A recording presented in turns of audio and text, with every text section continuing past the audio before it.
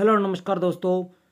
रीट मुख्य परीक्षा विज्ञप्ति 2023 को लेकर जो अपडेट निकल कर आ रही है, उसके बारे में अपने चर्चा करेंगे। रीट का जो सर्टिफिकेट है, वो जारी हो चुका है। आप कहाँ से उसको अपलोड कर सकते हैं और आपको कब मिलना शुरू हो जाएगा, उसके बारे में भी अपने चर्चा करेंगे। और रीट का क्या फरवरी में ही होगा एग्ज़ाम?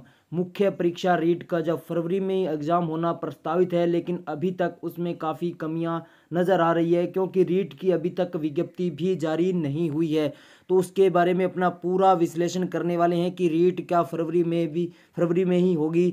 तो चलिए अपने मुख्य परीक्षा जो रीट के प्रमाण पत्रों को लेकर जो अपडेट आ रही है, इसके प्रमाण पत्र जारी कर दिए। ये कल की अपडेट है। जी हाँ साथियों, इसके प्रमाण पत्र जारी हो चुके हैं और आपको इसके जो सर्टिफिकेट है, वो आज से मिलना शुरू हो जाएँगे। ये सर्टिफिकेट आपको कहाँ से मिलेंगे? ऑनलाइन आपको सेंटर प्रोवाइड करवा दिए जाएँगे। भी डिस्ट्रिक्ट के अंदर आप हैं, उस डिस्ट्रिक्ट के अंदर आपको सेंटर प्रोवाइड करवा दिया जाएगा और उस सेंटर पर जाकर आप अपना सर्टिफिकेट है, जो प्रमाण पत्र है, वो प्राप्त कर सकते हैं। तो ये तो अपडेट थी सर्टिफिकेट को लेकर। अब बात कर लेते हैं परीक्षा को लेकर की। रीट की जो मुख्य परीक्षा है, वो कब आयोजित करवाई जाएगी? देख लीजिए, उसको लेकर जो बड़ी अपडेट आ रही है, परीक्षा से ढाई महीने पहले ही विज्ञप्ति जारी होनी चाहिए। अभ्यर्था आने के बाद ही परीक्षा की तिथि को लेकर कोई भी निर्णय लिया जा सकता है।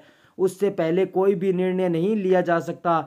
ये जो लिखा है हरि प्रसाद शर्मा, चेयरमैन, राजस्थान कर्मचारी चयन बोर्ड। इसमें उन्होंने बताया है कि ढाई महीने पहले ही विज्ञप्ति जारी होनी चाहिए, लेकिन अभी तक रीट की जो मुख्य परीक्षा है, उसकी विज्ञप्ति जारी नहीं हुई है।